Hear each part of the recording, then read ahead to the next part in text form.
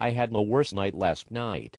I saw my ex-lover I had a horrible night last night. After I watched Elite XC last night my buddy picked me up from my house, and we went to the liquor store, and got a 24 case of beer, and then we went to my other friend's house who lives nearby me and got loaded. So anyway, it was 1 in the morning, and I was really drunk considering I drank over half the case, and felt like going home, so I can smoke some chronic.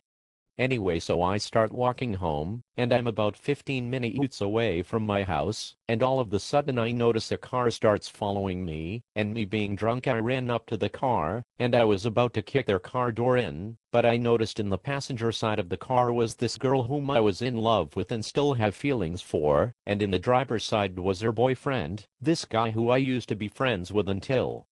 Well that's a different story.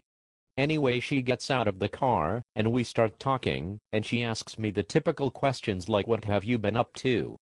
I kinda brush off the questions, but anyway then I asked her why, did you have to break my heart, and then she tells I need to get over it, and that I need to move on and all this shit. So then me being drunk, and I start freaking out, and she starts to walk away from me, and gets in the car, so I kick the driver's side door in where my former friend is sitting, and I try to get him out of the car to fight.